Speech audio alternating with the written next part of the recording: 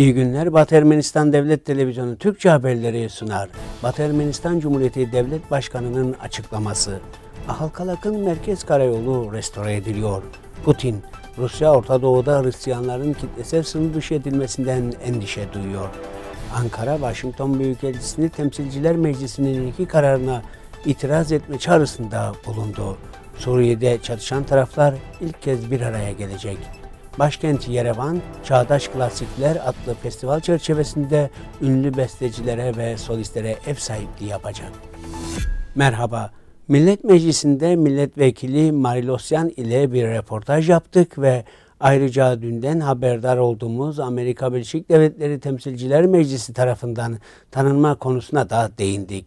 Bu yüzden Başkanlık Konseyi, Ulusal Konseyi, Parlamento ve hükümetimiz adına bu kabulü memnuniyetle karşıladığımızı ve bu kararın Senato tarafından kabul edilmesi ve ardından devlet başkanı tarafından onaylanması gerektiğini çok iyi bildiğimizi söylemek istiyorum.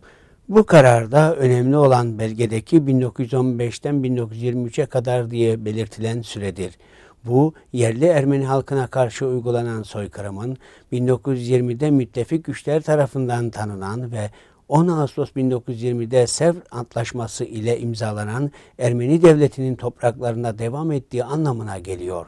Başkan Woodrow Wilson'un tahkim kararının imzalanmasını yürürlüğe koyan özel kararla 11 Mayıs 1920'de Amerika Birleşik Devletleri'nin Batı Ermenistan'daki Ermeni devletinin tanınmasıyla doğrudan bağlantılı olduğumuzu ekleyebiliriz. Bu yüzden bu bir ilk adımdır. Bu ilk adımı ve bu kararın gerçekleşmesine katkıda bulunan herkesi memnuniyetle karşılıyoruz. Teşekkür ederiz. Armenak Abrahamyan, Batı Ermenistan Cumhuriyeti Devlet Başkanı. Halkalak'ın merkez karayolunun yeniden inşası geceden beri başladı. İnşaatçılar asfaltlama işlerini yapıyor ve şimdi Savipuleba Darpinyan kavşağından dört nolu okula kadar çalışmalar tamamlandı. Sakinlerin ağır makinelerin neden olduğu gürültü hakkındaki şikayetlerine rağmen müteahhit şirket temsilcilerine göre asfaltlama işleri uzun sürmeyecek. Toplamda 16 kilometre uzunluğundaki Ahalska Ninotsminda karayolu restore edilecek.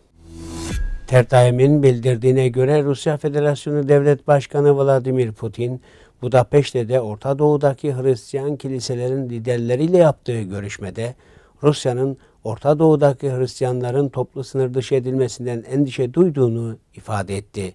Rusya Federasyonu Devlet Başkanı Rusya, Orta Doğu'da barış ve istikrar sağlamak için tutarlı ve dirençli çaba sarf ediyor. Bilindiği gibi ülkemiz genel olarak Orta Doğu ve özellikle Suriye'de dahil olmak üzere terörizm gibi bu yaygın kötülükle mücadele etmek için çok şey yaptı dedi. Putin, Orta Doğu'daki Hristiyanların şu anda çok zor durumda olduğunu söyledi. Cinayetler, şiddet, soygun. Hristiyanların Orta Doğu'dan kitlesel göçlerine tanık oluyoruz. Bu bizi rahatsız ediyor diye vurguladı.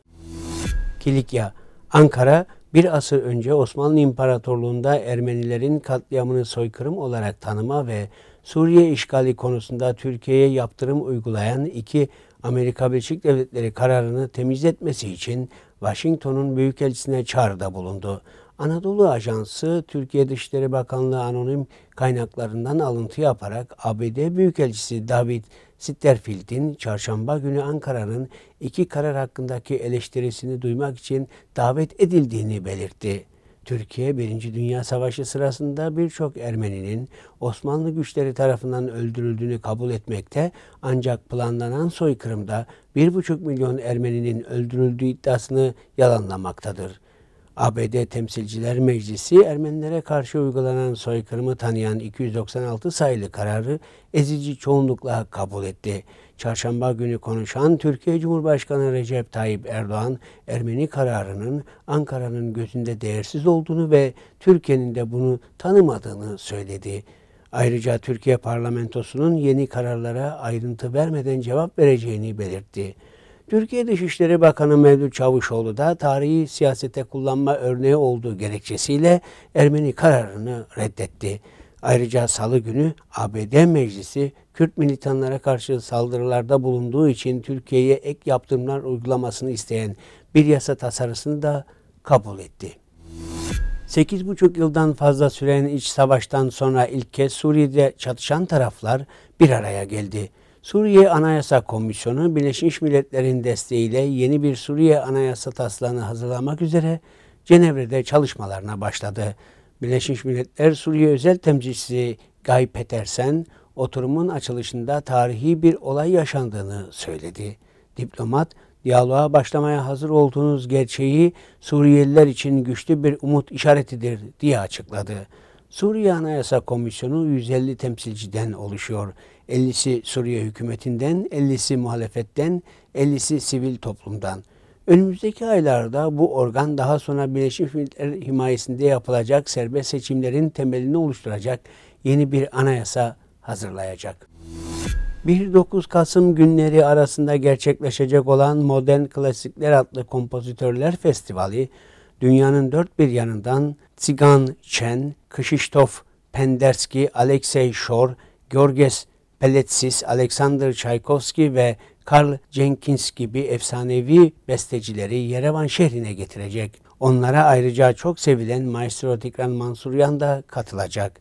Armen Press'in aktardığına göre festivaldeki konserlerin her biri bestecilerden birine adanacak. Konserlerde kompozitörlerin bestelediği eserler sunulacak. Çağdaş Klasikler adlı festivalin organizatörleri Ermenistan Cumhuriyeti Devlet Senfoni Orkestrası ve Avrupa Kültürel Yardım Fonu'dur. Festival, Ermenistan Cumhuriyeti Eğitim, Bilim, Kültür ve Spor Bakanlığı'nın desteğiyle düzenlenecek. Bugün için bu kadarını öngördük. Şimdi size Masung adlı topluluk tarafından seslendirilen Taşkinak Nerov Bar adlı eseri sunuyoruz.